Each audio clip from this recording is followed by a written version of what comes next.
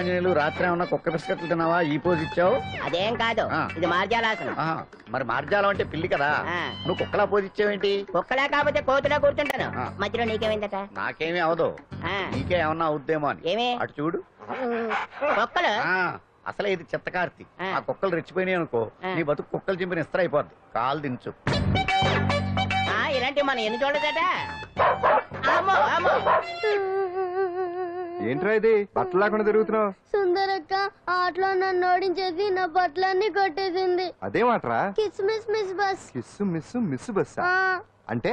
అంటే ఇదిగో ఇందులో ఐదు ఇందులో ఐదు కిస్మిస్లున్నాయి ఒకటి నేను పైకి వేస్తే నువ్వు నోటితో పట్టుకోవాలి. మిస్ అయ్యావనుకో నీ ఒంటి మీద ఉన్న బట్టల్లో ఏదో ఒకటి విప్పేయాలి. అలాగే నువ్వు ఎగరేసినప్పుడు నేను పట్టుకోలేకపోతే నేను విప్పేస్తాను.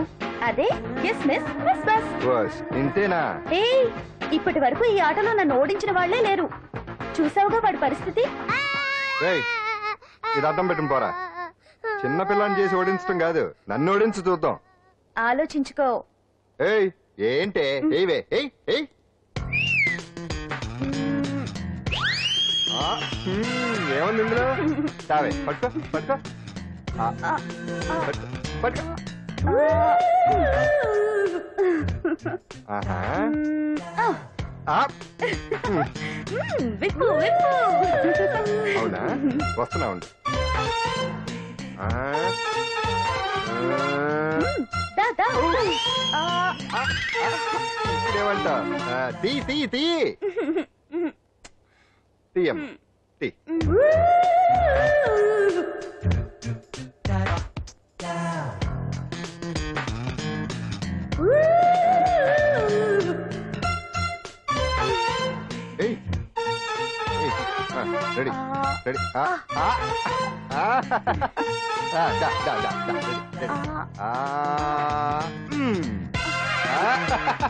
అంతే తీయమ్మ తీ తీ,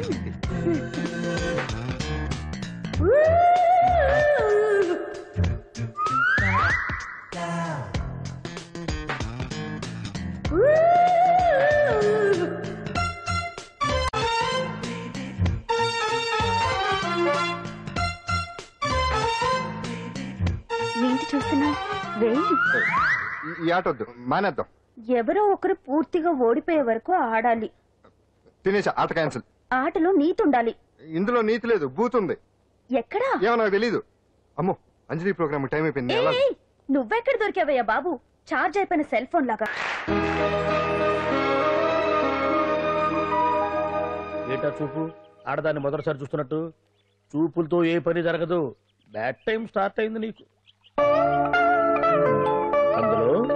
అందులో నిన్నే ఏంటి చూస్తున్నావు ఊరికే చూస్తున్నానా బట్టను అంతే ఇప్పుడు చూడాలనిపిస్తుంది రేపేదో చేయాలనిపిస్తుంది చూపు తిప్పుకో మా బావ చూశాడనుకో ఈ శిరస్సు ఏదైతే ఉందో అది మృదంగం అయిపోతుంది ఆ.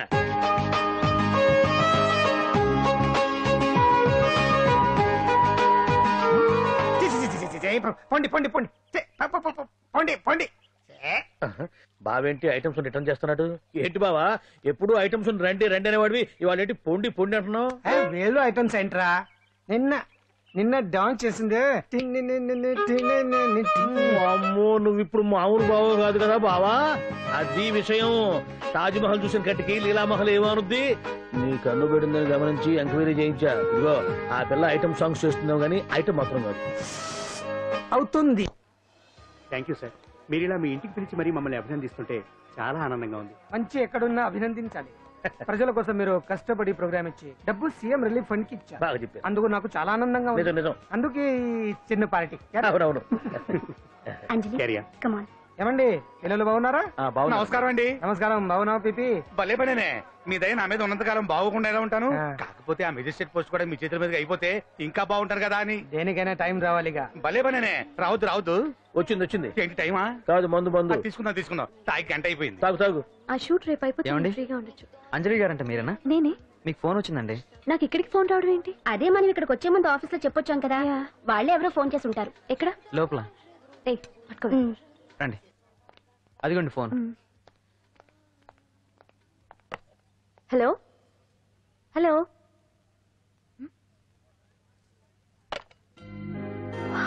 పెయింటింగ్ బాగుందా? సార్ మీరు ఫోన్ వస్తే పెయింటింగ్ బాగా నచ్చింది అనుకుంటాను నేను వేసిందే. చాలా బాగుంది సార్. ఆ, రే వెళ్ళప్పుడు అది ప్యాక్ చేసి ఈవిడికి ఇచ్చే. అయ్యో వద్దు సార్. నీకు నచ్చింది కదా? వద్దు సార్. మ్మ్, ఏంటి నచ్చింది ఇస్తానంటే వద్దంటున్నావు? నేనైతే అలా కాదు. నాకు ఏదైనా నచ్చిందంటే అవతలి వాళ్ళు ఇవ్వనన్నా బలవంతంగా తీసేసుకుంటాను. రా అంజలి రారా పర్వాలేదు రా. ఆ ఫోటో ఎవరిదో చెప్పుకో. నాదే ఆ వయసులో ఒకసారి ఏం జరిగిందో తెలుసా? ఆ మా పక్కింటి గురడి సైకిల్ నాకు నచ్చింది. ఇవ్వమన్నాను. ఇవ్వలేదు.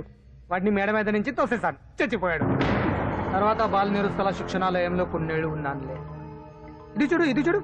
నాకు వయసు వచ్చిన కొత్త. మా వీధిలో ఒక అమ్మాయి ఉండేది. అబ్బా చాలా అందంగా ఉండేది. పేరు కావ్య. కావ్యానో శ్రావ్యానో కృతనం కదా. మౌచిపడ్డాను కాదండి. మొహం మీద యాసిడ్ పూసేశాను. మళ్ళీ చిన్న శిక్ష. కానీ అందమైన ముఖం. ఇలాంటివి చాలా ఉన్నాయి మన లైఫ్లో తర్వాత ఆటో భగవాన్ అవతారం. ఆ రోజుల్లో ఆటో భగవాన్ అంటే అందరికీ హడల్. రాజకీయాల్లోకి రావడానికి రావడిజం దగ్గరదారి కదా.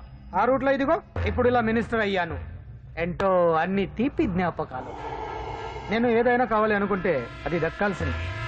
ఓ ఇంతకీ నేను ఇప్పుడు మనసు పడింది దేని మీద నీకు చెప్పలేదు కదూ?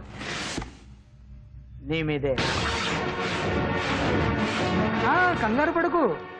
ఒక్కరోజు. నీ జీవితంలో ఒకే ఒక్క రోజు నాతో గడుపు. నీకేం కావాలో అడుగు. తీసుకో. అంజలి నేను ఎంతో మంది అందగత్తెలతో గడిపాను. కానీ వాళ్ళెవరిలో లేనిది ఏదో నీళ్ళు ఉంది. అందుకే నేనంతా డిస్టర్బ్ అయ్యా. హే ఏంటలా అయిపోయావు? ఓ సడన్గా అడిగేసరికి షాక్ అయ్యావా? తొందర ఏం లేదు. ఒక వారం రోజులు టైం తీసుకో. ఆలోచించుకో. కానీ ఎస్ అని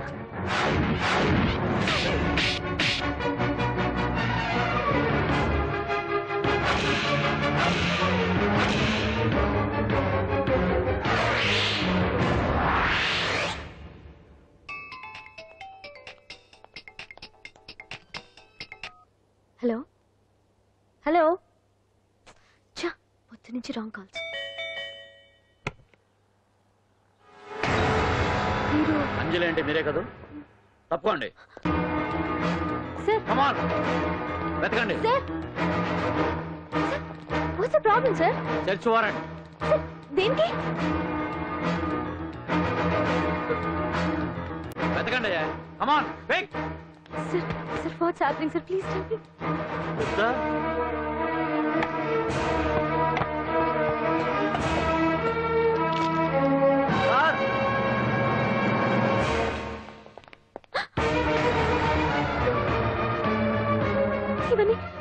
ఇక్కడికి ఎలా వచ్చాయో నాకు తెలియదు sir. Sir listen to me Come on, please. move. Sir.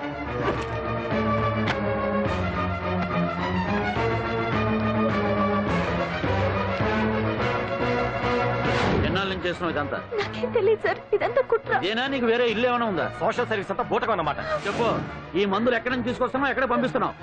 ఇవి మాత్రమేనా? హెరైన్ కొక్కైన్ లాంటివి కూడా సప్లై చేస్తున్నావా.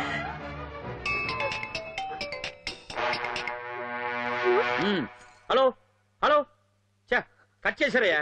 ఆ లిస్ట్లో నెంబర్ ఉందేమో చూడు. Come on pick yes sir same number Dubai Khan number sir ఓహో అంటే నీకు మాఫియాతో కూడా డీలింగ్స్ ఉన్నాయన్నమాట. No, sir. Yes. No sir Shut up!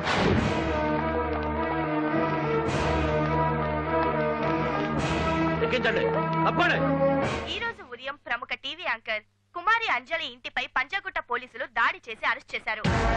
అంజలికి ఎంతో కాలంగా డ్రగ్స్ రాకెట్తో సంబంధాలున్నట్లు సోదాలో లక్షలాది రూపాయల విలువైన మత్తుమందులు దొరికినట్లు పోలీస్ కమిషనర్ వెల్లడించారు.